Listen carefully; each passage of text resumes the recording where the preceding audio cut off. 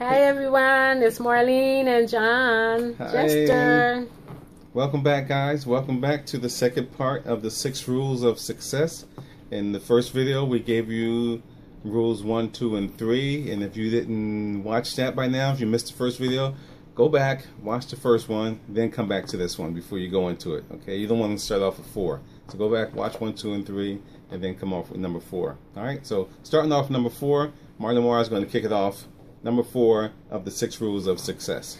Number four is don't listen to the naysayers. We all have them. We all have haters. We all have, have people that discourage you. So what I'm saying is don't listen to the naysayers, and it's important not to be a naysayer. So when you're working on yourself, you don't want people to discourage you. You want people to encourage you, and you want to do the same for others. You know. Mhm. So um, that's important. All right. So don't be one. Don't listen to them. All right. don't start nothing. Won't be nothing. won't be nothing. all right. Number five. All right. Work your butt off, man. You know, when else you decide what you want to do, you you you you you you're trusting yourself. You you you you you're focused on what you want to do. Make a plan, and you got to work your butt off. You know, no matter what anybody say, stay focused on there. You got to work, work, work. You know, and the only place success comes before work, you know, is in the the uh, the dictionary. You know, the alphabet. That's the only place where S comes before W. Mhm, yeah. right? So you can't think you're going to just get instant success without doing the work.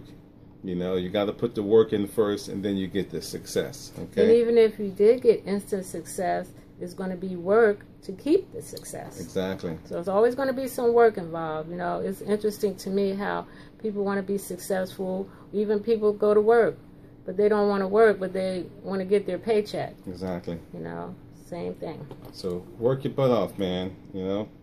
And number six. Give back. We talk about that a lot. Important. You know, just give back to your family, to your community, your church, wherever. But just give back, you know. And especially if someone's given to you or helped you, why not help someone else? You know. Mm-hmm. But it's important to give back.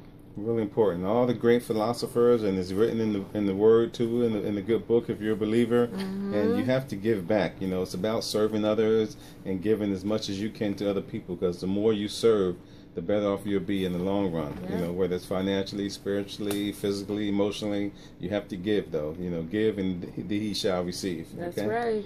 All right. So, Right. and there's one last thing I forgot to mention. When you're working your butt off, you know, also remember you can't climb the ladder of success with your hands in your pocket.